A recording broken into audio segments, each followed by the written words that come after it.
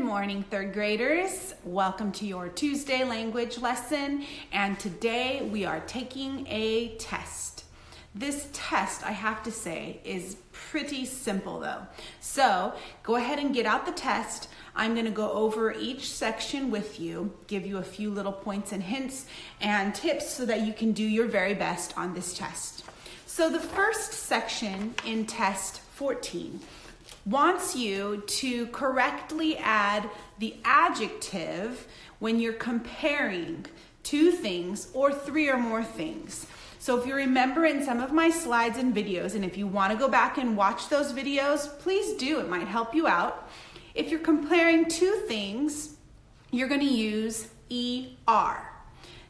Two letters in ER comparing two things. So between me and Miss Simonis, I am shorter. We're going to use ER, okay? If you're comparing three or more things, then you will use EST. Three letters, three or more people. So out of all of the teachers, I am not the shortest, okay? We would use EST.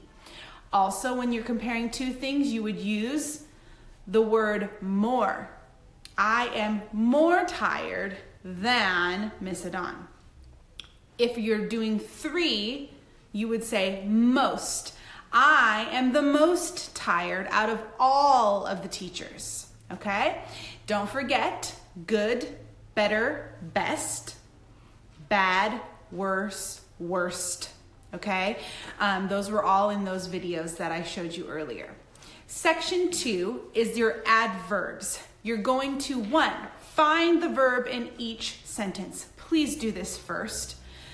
Double underline it, find that verb.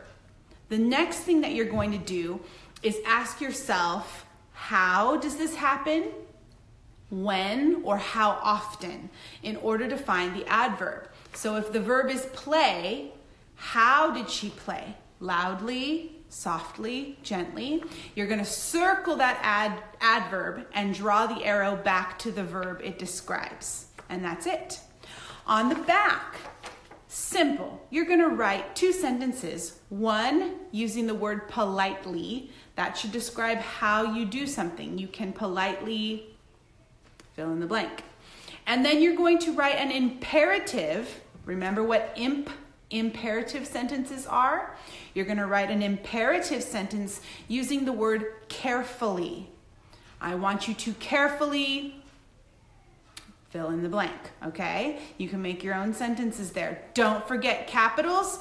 Don't forget punctuation. You will lose points if you forget those things. And then the very bottom is some diagramming. But don't worry, it's very simple. You're going to diagram subject, verb, and adverb. And you can see it right there in those lines where those things need to go. Don't forget to mark your sentences. I will say it one more time. Don't forget to mark your sentences. That's where a lot of you lose points. It says to draw the line between subject predicate, underline your subject once, verb twice, circle your adverb, then diagram your stuff, okay?